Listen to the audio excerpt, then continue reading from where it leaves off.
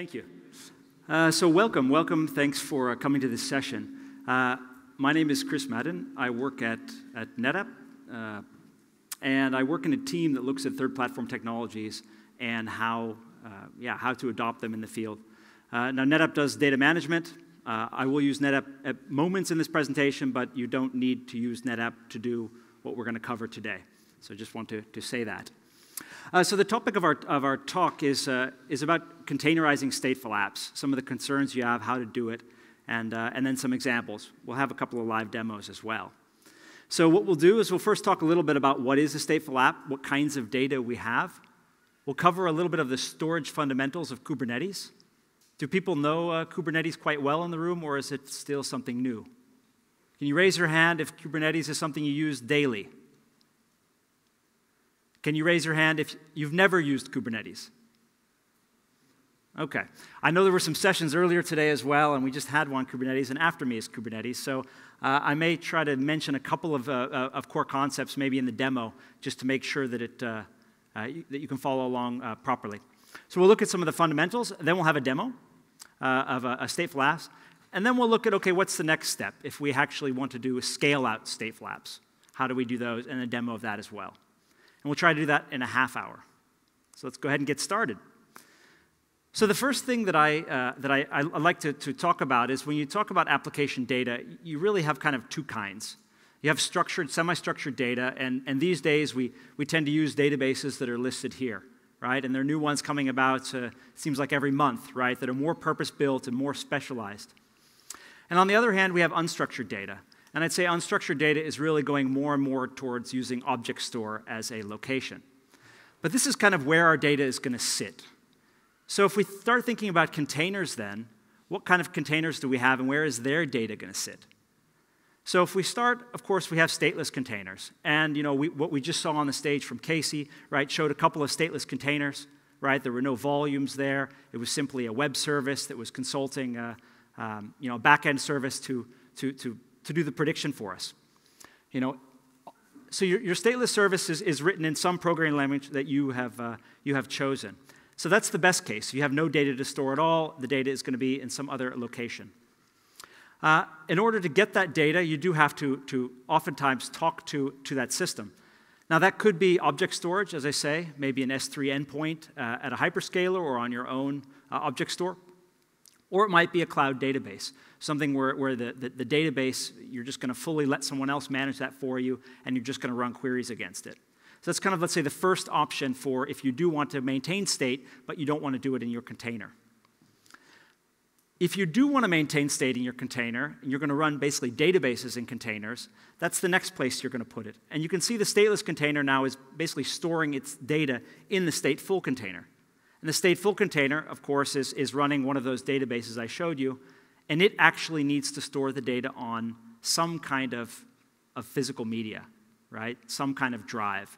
And that could be direct attached storage, it could be a NAS system, a SAN system, could be some cloud storage, an EBS volume, for example. And I'd say these are the two main uh, uh, ways that you should go about architecting your apps. You may, however, also have this third line here where you have some apps that are actually stateless, but you know, gosh, they, they actually need a little bit of storage for something. And you, you can do that as well. I would say that's not a design pattern you should, uh, you should go for, but if it happens, uh, uh, you may also have those containers accessing the storage directly. So, why do you want to put some of your, your, your containers that need state in containers in the first place? Uh, I'd say, you know, going with the themes of the conference about scaling easier and, and, and, and doing it reliably, uh, scaling is simply easier. You can scale this up very, very quickly. Um, and you also can scale up without scaling the, the, the, manpower you need to manage it, right? Because a container is very easy to create additional replicas. It's a lot less work. And from a reliability perspective, all of your configuration is defined in those, those YAML files like we just saw, and we'll see more of them later. What that means is that it's repeatable. You can roll out new uh, stateful containers, right, that host these databases. Uh, easy, you can, you can put that into your uh, source code management system like Git, uh, so that you, you always know the situation uh, is, is as you think it is. And lastly, you can also kind of leverage the container platform, uh, Kubernetes, to do some of the extra work for you. right? Kubernetes has natively the ability to monitor, right? Readiness, text, readiness tests, liveness tests. So it can, it can help you basically manage that database environment that you would otherwise have to look at even more tooling to manage. Again, makes it easier, more reliable. And there's a but. And I will say, in contradiction to the session title, there are some stateful databases that you simply do not want to put in containers today. It's just more trouble than it's worth. So I'd say when you're going down this path, you probably, if, if you encounter one of these, you will bang your head against the table enough and realize, you know, this is one that's better for me to leave until, uh, until another day, until some of the tooling and the infrastructure is a little bit more mature. Uh, so just want to also uh, make that uh, caveat. Okay, so now let's go, let's go and, and look at how does Kubernetes do storage. So the first thing that Kubernetes has is something called a volume. And a volume and a volume plugin. A volume plugin basically tells Kubernetes how to attach to a given type of volume. So if you look here at these volume plugins, there are many of them. I think there are 20, 30 of them uh, these days. Uh, and, and, some of them you see are the cloud providers, you know, NFS, uh, iSCSI, some of the, the ones you might be more familiar with on premise. And uh, you can see over here a pod. So a pod is a, uh, a namespace that has one or more containers in it that are all going to be located on a single node. It's kind of one of the requirements or one of the ways that Kubernetes works. So what you can see here is there's kind of an association from this pod has a volume, and that volume is mapping directly to this NFS volume. And when I say mapping directly, I mean really, really directly. So this is a, a, a, some YAML. So this is the, the configuration of a pod that's using a native volume uh, from Kubernetes. And you can see here at the bottom, when he's using his volume, he explicitly states the endpoint he's talking to, the LUN ID he's talking to, very, very specific things, all embedded right in the pod manifest. Now, do you think that's a good thing? Anybody? Is a good thing, bad thing? It's, it's okay. Maybe it's small scale, it's okay. But if you, the idea here, right, is to abstract the, the configuration from the infrastructure. I would love to be able to create this pod that needs some storage and run it on premise today and in Google Cloud Platform tomorrow, right? Or, or run a few of them in each. Well, if you have this kind of stuff here at the bottom, you can't do that. So I'd say volumes are really the very first integration, the very the most uh, uh, simplistic integration. I will say though, this is still quite advanced. If you look at what, what Docker provides natively, for example, it's, it's not nearly as sophisticated as this. This also gives Kubernetes the, the knowledge and the know how on how to connect to different volume types. So, again, if I had a Ceph RDB, for example, then Kubernetes knows how to connect to it and disconnect to it. It already speaks that. So, as you get more, uh, let's say, um, yeah, not proprietary, but uh, yeah, uh, not standard protocols, uh, this allows you to access them. So Kubernetes saw this as being a limitation. You want to abstract things, that's one of the goals. Uh, so then they created the concept of a persistent volume. So persistent volume is now a piece of networked storage. So a volume could also be a local storage, could be a local directory. Persistent volume is, is always going to be an, a piece of network storage. And it's a, a first class resource in the cluster. So what that means is just like the cluster administrator would add nodes to the cluster, like we saw Casey a moment ago, I think he added five nodes into his Kubernetes cluster. You also add storage resources into your cluster or persistent volumes into your cluster. That persistent volume, again, uses a given volume type so that Kubernetes knows how to talk to that NFS or iSCSI or Google Cloud uh, Storage. These things can be provisioned statically or dynamically, and they have a you know, capacity, access mode, some other attributes to them. Now, this is the resource. So, just like you have a node that you would create in your cluster, right, that has CPU and memory in it, a persistent volume also has you know, capacity and some of these uh, labels associated with it. So, here's an example of a persistent volume that you could create. And now you see in here we have the connection details of this NFS mount, but it's being kind of wrapped within this persistent volume. Now, the persistent volume is, is, is now uh, imported, let's say known by Kubernetes. Now, how do you make use of that, that resource? Well, you do something called a, a request a persistent volume claim, or a PVC. And a PVC is what you then request in your application. So your user says, I want some storage, and I'm now I'm going to give how big it should be. Maybe I'm going to give some tags about it, I'm going to give a storage class for it, and that's it. What the actual volume I get is, is not something that uh, I specify. Because again, I'm trying to abstract my user request from the implementation on the system. So here's an example kind of combining those the, the persistent volume claim with using it. So what the user would then do if he wanted to, to start up a, a pod, so here on the right-hand side, you can see this, this user wanted to start in an Nginx pod, so he wanted a, a web server container, basically, and he wanted to, to map some volume into it. And you can see here at the bottom here, in the, uh, what's shown as second step there, you could say it asks for a volume named myvol, and it uses a, a claim name of PVC5 gig. So that's specifically saying I want a specific claim that I've already created. That's why in the first step over here, I created that claim. So you can kind of follow. The user wanted to, to go ahead and get some, some persistent storage for his application. He created a claim, which just set a capacity and type of storage, and then he actually used that claim in his pod. Now, if you have a claim, how does the claim actually get matched up to the actual physical volume on the system? right, or the persistent volume on the system. So if you, if you think about how Kubernetes does it when it has a pod, the, the Kubernetes scheduler will look for a pod, look for nodes that are available in the cluster, and then do bin packing. Basically, put that pod in the most intelligent place or the place that the scheduler thinks is the best place for that pod. That's basically the same thing that's going to happen with a persistent volume. He's going to look for an, an appropriate persistent volume. Now, that persistent volume had, could have gotten there in two ways. It can either be static, which means it has to be pre created, or it can be dynamic, where it's uh, created on demand. So let's look at a static example. Um, so here we have on the left, we have a user, and on the right, we have the, the uh, administrator. In the middle, we have Kubernetes. So if, if the, the, in a static environment, the, the cluster administrator would need to go out to his storage system or his uh, storage, software defined storage, whatever it is, and he would need to create a couple of volumes on that and map those over to the nodes that are in the cluster. That's what he did here. And then he added them into the cluster as, as persistent volumes. Then the user would come along, he would make a request uh, for some persistent volume claims uh, on, on his pods. And then the persistent volume controller would basically see this and marry them up. Now, if you look here, there are kind of two problems with this, this way of working. One is that that administrator had to do something. So, as we start to scale and getting hundreds or thousands of these volumes, we don't want an administrator manually managing all these uh, physical volumes, these persistent volumes. And then, secondly, he does a, a best fit. And a best fit means that this, the volume needs to be equal or greater in size. So you'll see that in one of these cases, he actually mapped an 8 gigabyte request over to a 10 gigabyte volume. Right? That's not very efficient, that's wasted capacity. So static provisioning is something that, again, you, you can do to get started, but probably long term is not uh, a good approach for you.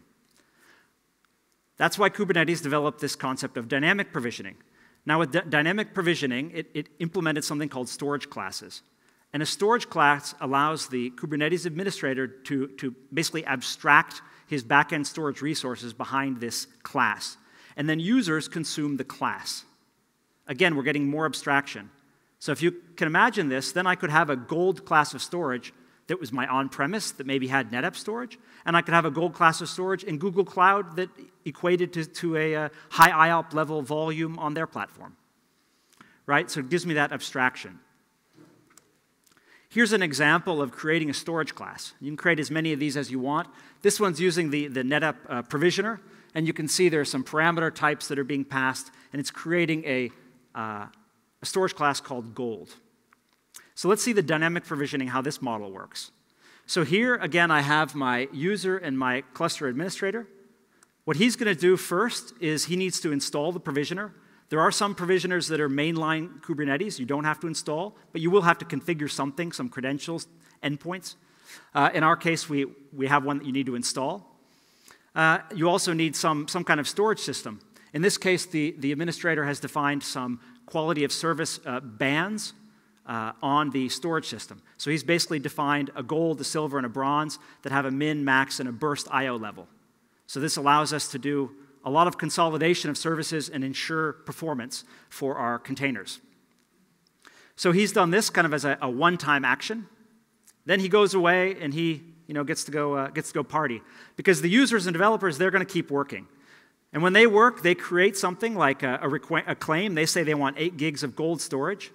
What's going to happen is Trident or the dynamic provisioner is going to actually see that this request is pending and go ahead and create the storage. Once it's created the storage, then the controller from Kubernetes is going to match them up. So I mentioned this, this thing called Trident. Um, this is a specific piece of software from NetApp. It's open source with an Apache 2 license. And it basically allows any NetApp storage type to be connected uh, via Ethernet to your Kubernetes cluster. So if you already have NetApp storage or you're looking for an on-premise solution, uh, this is something that will allow you to, to get dynamic storage management in a Kubernetes environment. Now, it's not only with NetApp that has these provisioners. Here's actually a variety of other provisioners, dynamic provisioners that are available. You'll see the hyperscalers are in there, as well as some other open source offerings, and there are a few more out there. So, what I'm going to show you here could also be done with other tech sets. So let's go ahead and have a demo. Uh, so I thought for a, for a demo, I, I'd pick a nice, easy, stateful app, right? MySQL, just a single database. WordPress needs some, some area to save its you know, images and things that are not in the database. And my ping is still looking good, so let's, let's give it a try here. Is this uh, readable, or do I need to go even bigger? Put your hand up if I need to go bigger. I'll go one bigger. I don't, I'm afraid things will start to wrap if I go too much. Where is it here? Terminal zoom. Uh, so what I've done here, again, our goal here is to. Uh, so first, I just thought I would show a little of what the environment looks like. So I ran a couple of commands here. You can see them here. Uh, basically, looked at the nodes I have. So you can see I have a three-node cluster. It's running 164. That's the latest and greatest Kubernetes version. You can see the storage classes I've already created. So I created a, a bronze, gold, silver, silver shared. Create as many as you want. The first three there all equate to a, uh, a SolidFire system that we have, so it's an, a NetApp system that does iSCSI, and the shared one is actually doing NFS. So if you wanted to share data across multiple pods, uh, you, this would be an option you could use. And then at the bottom there, you'll see the get PV is showing the physical vol persistent volumes I have. Now, Trident, our provisioner, also maintains state in an etcd database, and that's on that volume. So we have no other uh, user uh, volumes yet. So let's go ahead then and look at our, our, our, YAML file. So to create our MySQL database and our WordPress front end, uh, the first thing we're going to do is have some persistent volume claims. Again, this is the request for storage. So I can see here that I'm going to request a, uh, some gold storage here. I'm going to call it MySQL disk, size of 50 gigs. I have another one here that I'm going to request called silver shared type of storage at 5 gigs. So these are going to be my storage resources underneath WordPress and SQL Server. The next thing you can see here is I'm actually going to create my pod definition. So in my pod here, I'm going to add a MySQL server. You can see I'm giving him just a half CPU. I'm going to run MySQL 5.6 and uh, export some points, export some ports. And you can also see here that there's a volume. So here's where I'm actually making use of the volume. So I have a I have a volume here, a persistent claim that's called MySQL disk. That's the one we just created at the top of this file. And I'm going to give that a, this name here. And then you'll see this name here, I'm actually using into a mount. So what this, this little area here, this snippet is going to cause me to do is that that disk that's being mounted into the, into the pod is going to become available at var lib MySQL.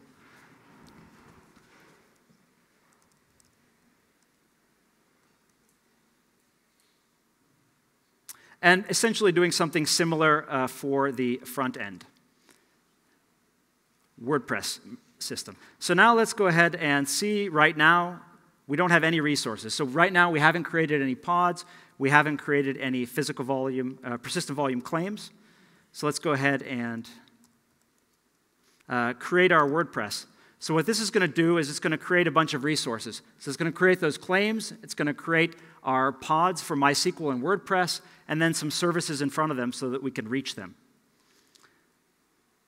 So that's going to take a minute to, to run. So I th- what I thought first is we just have a, a, a quick look here at, at what happened. So this persistent volume claim list here, you can see here, this is actually the two requests, and you can see their status is now bound. So that means the dynamic, dynamic provisioner saw that there was a request, went ahead and provisioned the storage and mapped it up. I can see the storage classes that are mapped to it, right? It happened 15 seconds ago. If I go and look at one of the underlying persistent volumes, I can then see that, oh, in fact, one of them was an iSCSI disk at this exact endpoint on this LUN ID with this file system type. What's interesting to note is that if I'm a user, I only get to see the volume claim. I don't get to see the volume. Again, that's the abstraction. Why does the user need to know the details of the iSCSI endpoint? It's, it's, it's not, not relevant for him or her. all right.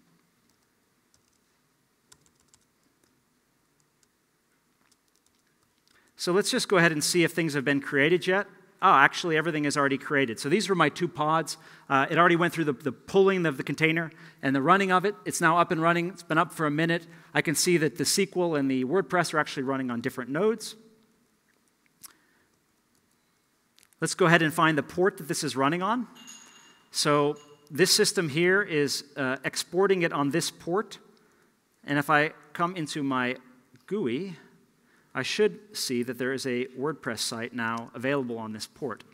Now, if I had load balancer, like Casey showed, he had load balancer, and on Google Cloud, then he had a, a load balancer created and he could access it from the internet. As Kubernetes standard on premises, you, you can't do that. That's not a feature function. You need to, to use Nginx or HA proxy or something else in, in front of it. Um, so I just mapped it through on a, on a, on, on a, on a hard coded port. Uh, you'll see that WordPress is active. So basically, that this installation worked. I just spun up two stateful containers, and I have my stateful app that's, uh, that's, that's, that's able to save data away.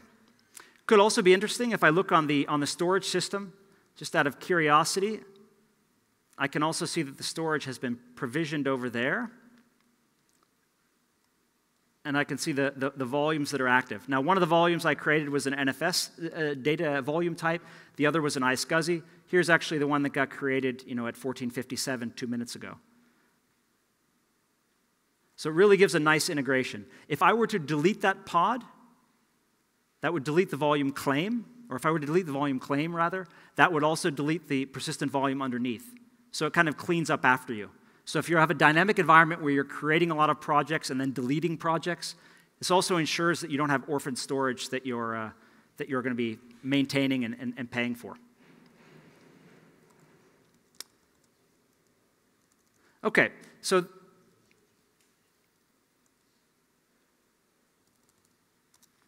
So that's all fine. For, for, for something that there's a, basically a replica count of one, what I just showed you is enough.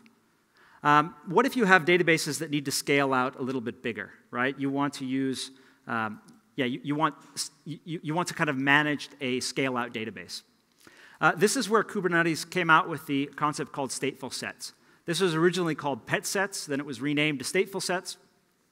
It's still a beta feature. It's not yet uh, uh, reached production uh, quality level. Uh, what a stateful set does is provide some additional constructs. Uh, the first one is it gives a stable network identifier to your pods. So what that means is if you were to run like host name inside the pod, it would have a predictable name. So a lot of, a lot of databases that are scale out like to have fixed names so that all the nodes know who's, who's a member and, and, and have a name. This gives it to you. You can also see what it does it puts the name, dash, and index. The index starts at zero and it increments. So as you create more replicas, it simply goes up. It also gives you a, guarantee that the scheduling of these pods will be in order. So in other words, that pod zero, ordinal index zero, will, will come, must pass its readiness test before it will start the next ordinal index. So that makes sure that, that you're adding these in a way that you're not going to hit a race condition where uh, uh, some services aren't ready yet.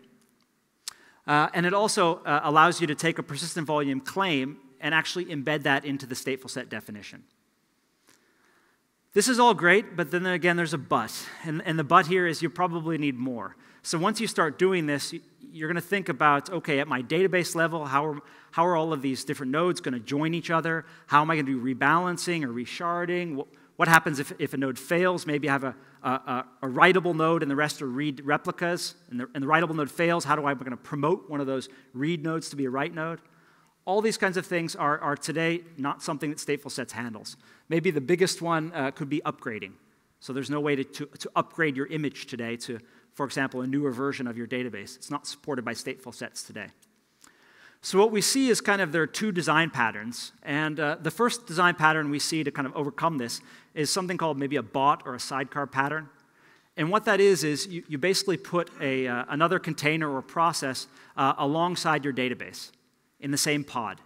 And this one is basically responsible for kind of looping and discovering, reaching consensus with the other, other uh, instances of the database, and kind of doing the right thing. So he would detect if a pod went down, decide with all of the other pods, yes, our writable pod went down. Okay, I want to promote one of the read only replicas to be a writable node. That kind of activity is now happening in logic that you've written and kind of put in uh, right alongside your, your database itself. And there are a few examples of these. You know, just go out and, and, and Google and, and you'll, uh, you'll, you'll, you'll, find, uh, read more about these two. The second design pattern we see that kind of late last year started becoming popular, and I think is the one that may have a, a longer legs, maybe a, in, in the future one that gets even more popularity, is to use something called an operator. Uh, so, an operator is actually uh, using a third party resource mechanism to create a new resource type in Kubernetes. So, instead of having like a stateful set as a resource type, you can now have a etcd type. And then in that type, you can have different properties, right? Like the number of replicas you have, but now it's etcd replicas. And then that logic is, it, of the third party resource is basically going to manage it for you.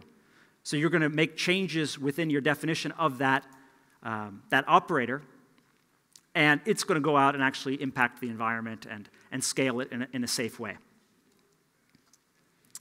Okay, so if we go back to stateful sets, uh, if you're going to use them, there's because I, I will say on this last one, if you're using one of these, either you have to find someone else has done the work or you have to go do it, right? It's, it's not trivial here. Depending on how complicated the database is, you have to you, you have to yeah, basically integrate the database uh, with Kubernetes so that they're, they're yeah, in sync. Uh, if we go back to just stateful sets, so of, uh, uh there are kind of three main components you're going to use. Uh, one of them is called a headless service. This basically allows all of the uh, pods within your stateful set to communicate with each other. They don't need to communicate outside, but they need to. This gives them reachability to each other on a, on a fixed name. Uh, you have the, the stateful set itself, where you're going to say the number of replicas, and then you have a claim template. So I will give a quick demo here now with uh, MongoDB. Uh, and in the sake of time, I'm actually not going to look at the YAML file, um, but we'll go ahead and first just check if there's anything out there. No, right now there are no resources, so we're all cleaned up. Uh, oops, I need one. So let's go ahead and create our MongoDB. So this is the command that I ran. You can see I created, uh, using this YAML file, and he went out and created a, a service and a stateful set. And if I then go and I watch the resources that it created, I can see what I, what I mentioned a moment ago. You see how it says Mongo 0? Right? That's the name of my stateful set, and the, and the cardinal index starts at 0. And you can see the, the process right now is container creating. So he's pulling it down. Oh, you can see it finished already. The readiness test must have passed. And he went ahead and started creating now Mongo 1. I asked for a database size of three, so this will go on for a few more times. You'll also see that it's, it's actually creating the persistent volume claim at the bottom as it's starting the container. Right? So right now I have two claims at the bottom that are bound to my storage. Again, the persistent dynamic provisioning is doing that. Up oh, here's the third one going now. It's pending, also creating the container. You can see that they're, they're distributed on different nodes. And he's, uh, he's kind of you know, working along here. This one will be up, uh, up shortly. Well, I don't quite want to scale it until it's all the way up. So let's just make sure that all three are up. Uh, and then I'll show you how I could scale this. So maybe, okay, now I have all three that are up. Let's decide that we wanted to scale this higher.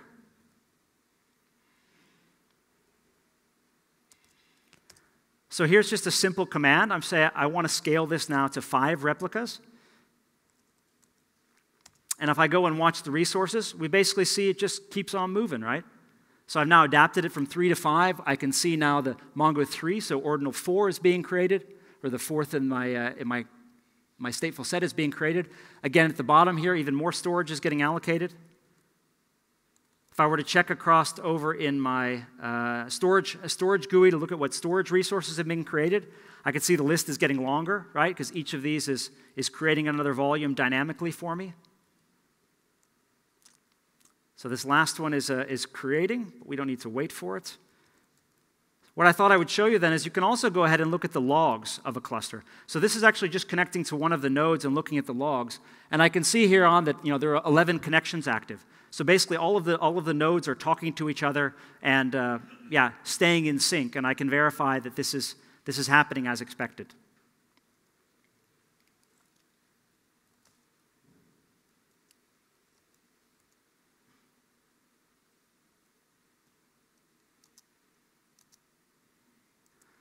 Okay, so I, I, wanted to show you these kind of two examples, one of a very simple example with dynamic provisioning and one with a more complicated example.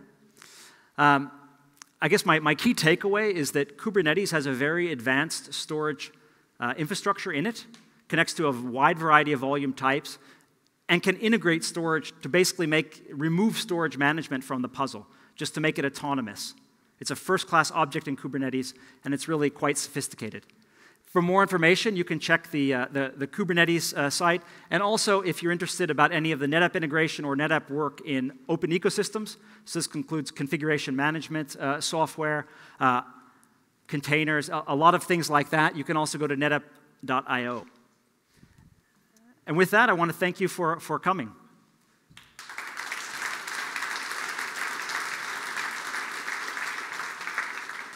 Thank you very much. We have time for one question if there is one. There is one. Uh, you were talking about uh, maybe doing some uh, storage on, on your own system and some in cloud.